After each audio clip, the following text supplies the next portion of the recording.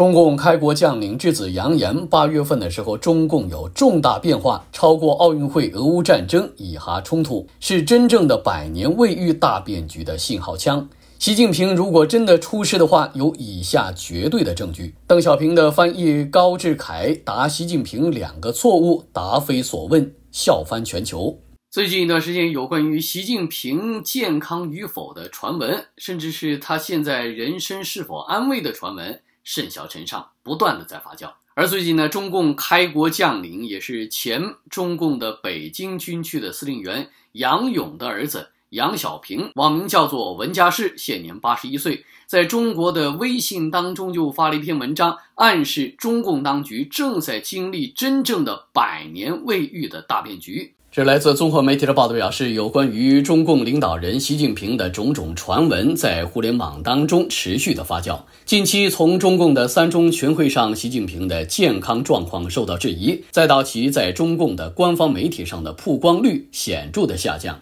外界关于习近平可能出事的传闻愈演愈烈，而近日，中共的前北京军区司令员杨勇的儿子杨小平，网名叫做文家世，现年八十一岁，在中国的微信平台当中就发布了信息，暗示中共领导层可能正在经历重大的变化。杨小平在信息当中提到。本月内，也就是八月之内，将会出现超过奥运会、俄乌战争、以哈冲突、委内瑞拉和孟加拉局势的重大中国国内的新闻，并且称此事件将成为。真正百年未遇大变局的信号枪。最近的网络消息表示，习近平因为健康的问题，至少大权旁落。另外，还有互联网当中流传的一份最新的中共中央政治局名单显示，中共的政治局常委丁薛祥将接替中共总书记以及中国的国家主席，而中共的中央军委副主席张又侠将担任中共的中央军委主席。而习近平在中共的官媒上出现与否，已经成为了外界观察中共政坛动向的一个风向标。最近的两个星期，中共的党媒新华社、人民日报、环球时报、央视网，还有解放军报等些主要的党媒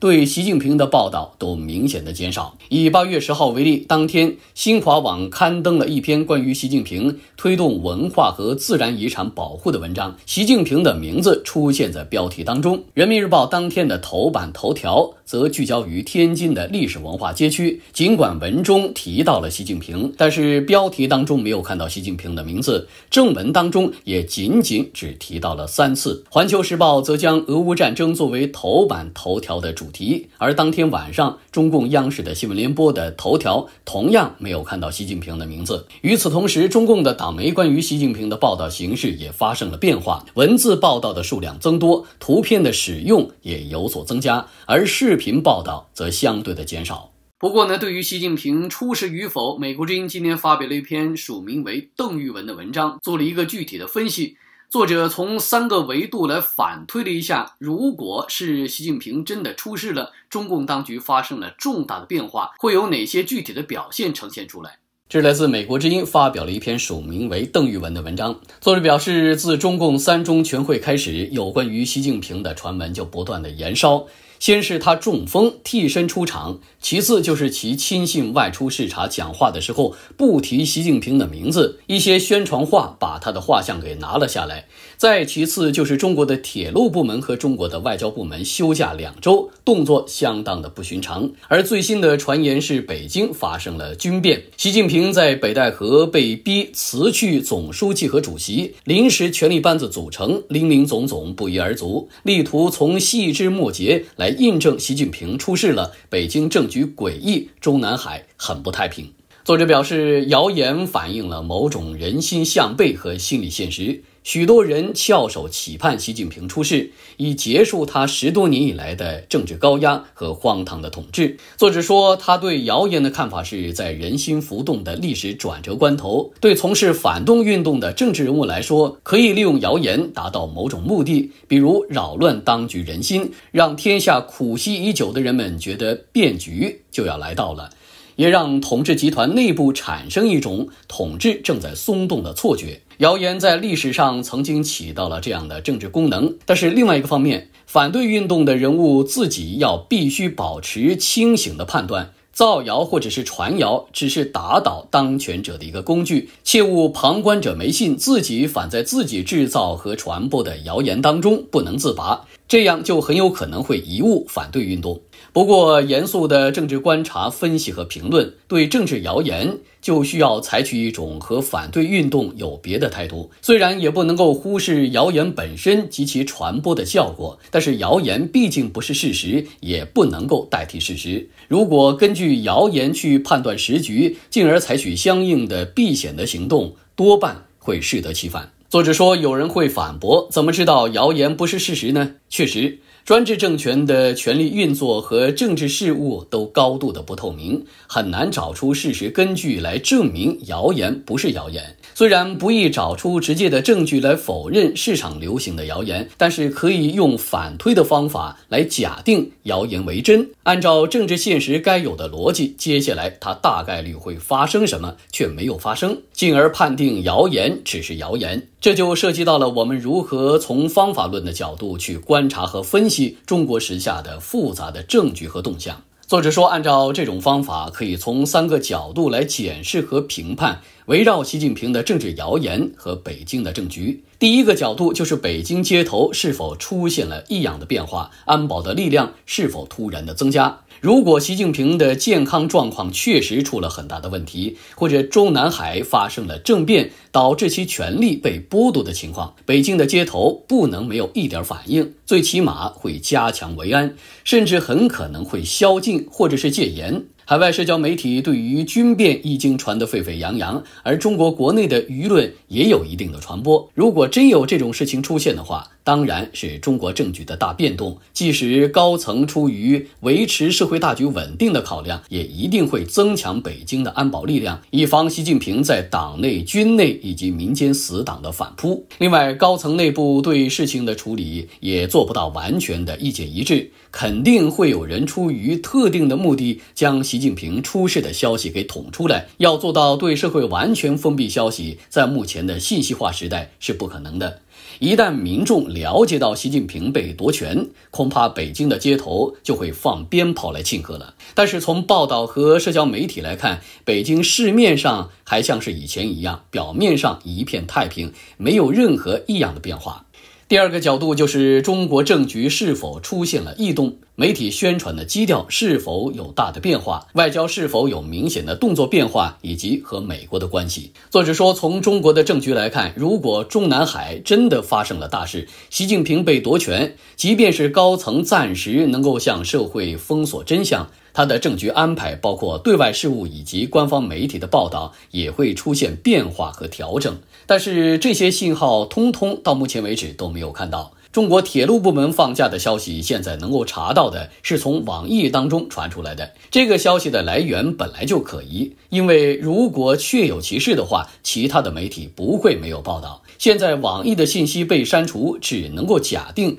网易的某个博主根据中国铁路部门的某个信息编出了这个帖子。而不是正式的新闻报道。即便是铁路部门也放假，根据现在传出来的信息，也只是正处级干部集中轮休两个星期。这和一些人猜测的铁路部门有某种军事行动是相当牵强的。因为即便是有某种军事上的行动，和有没有正处级干部集中轮休关系都不大。另外，作者说，中国的外交部的发言人倒是宣布了放假两个星期，但是他说的是中国外交部例行发布会放假两周，舆论把它解读为中国外交部放假两周是不准确的。例行发布会在北戴河休假期间放假，至少去年已经有了先例。只不过去年没有正式的宣布放假，但是从中国的外交来看，这段时间活动确实减少了。但是外交的调子和策略没有发生任何的变化。按理来说，习近平被夺权了，他和西方搞砸的关系。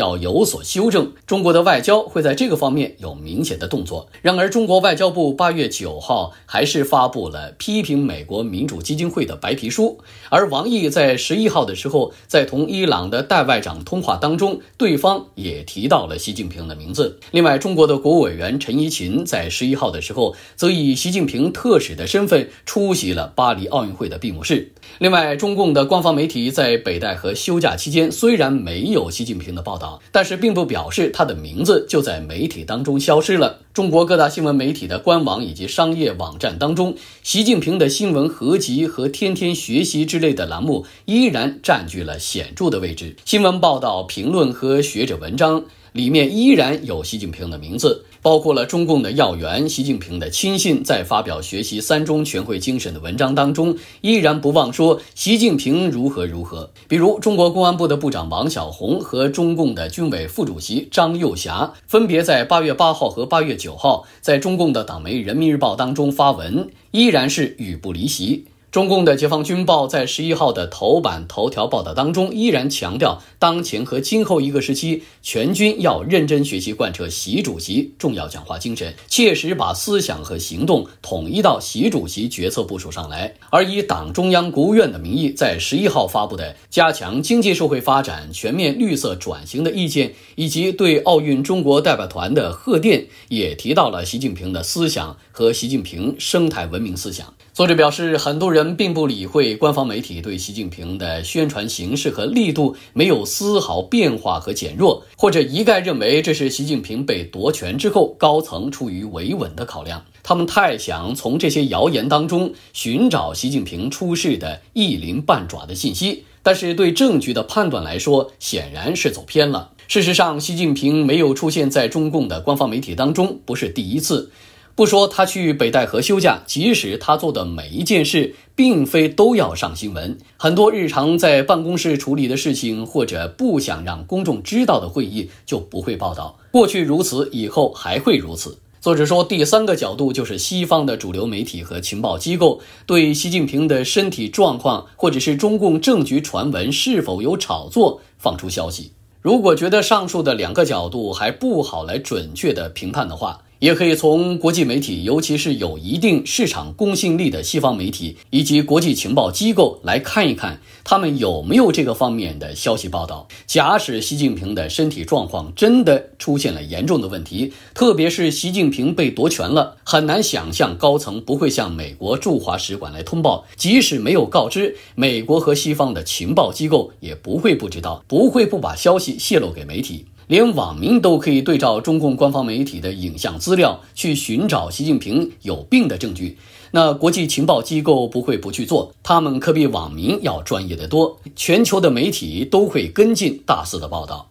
但是外界并没有看到国际情报机构来放出一些信息，也没有看到西方的主流媒体来报道这种事。可见，从以上的三个角度，对目前关于北京政局的各种谣言，不难判断真假。退一步来说，即使习近平的中风是一个事实，也动摇不了他对权力和政局的掌控。作者最后表示，客观上来讲，由于当局这些年以来强调所谓国家安全和政治的保密性，增加了政局判断的难度，而谣言的纷至沓来，更让人对北京的政局有一种扑朔迷离之感。许多人因为受到习近平统治所累，希望看到他倒台，从这个角度出发去相信谣言是可以理解的。且他的倒台从历史的趋势上来看，必定是一个事实。但是现在。还不是这样，所以严肃的政治分析和评论还是要区分想象和现实。对中国的政局，尤其是高层权力斗争，要有冷静客观的分析和判断，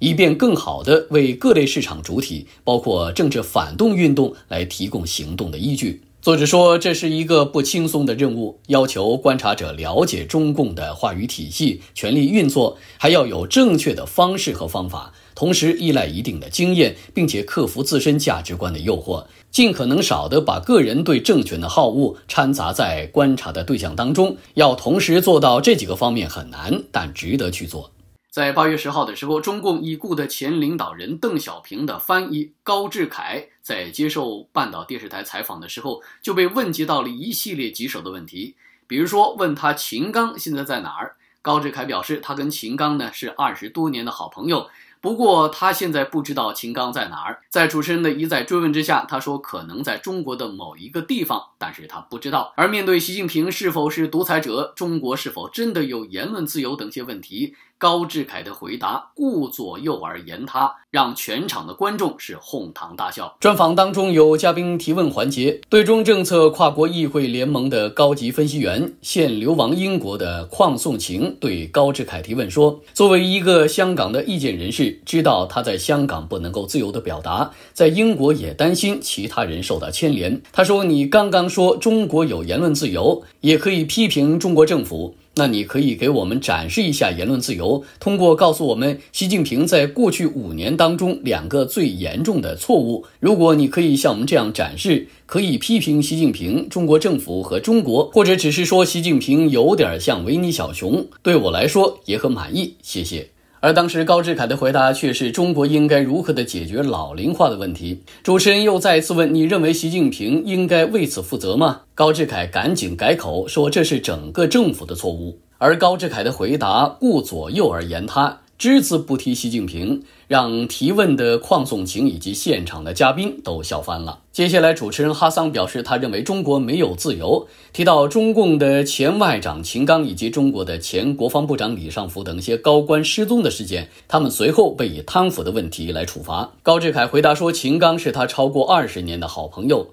那主持人马上就问，秦刚现在在哪儿呢？高志凯说，他卷入了贪腐案件。主持人再度的追问，秦刚上哪儿去了？高志凯回答说：“他在被迅速的处置。”主持人最后一次追问：“秦刚去哪儿了？他是你的好朋友，你都不知道他去哪儿了？”高志凯称：“也许他生病了，他在中国的某个地方，你永远不会见到他。”而之后，主持人还问：“习近平是独裁者吗？”高志凯回答说：“不是。”而主持人说：“但是选票上只有习近平的名字。”高志凯却说：“当查尔斯继承了国王，选票上也只有一个名字。”主持人表示：“你问错人了，我支持废除君主制。”高志凯说：“他非常清楚，你不能在英国反对君主制。”主持人表示：“我刚才就反对了，你敢在中国说这些吗？”高志凯说：“你要了解中国的体制。”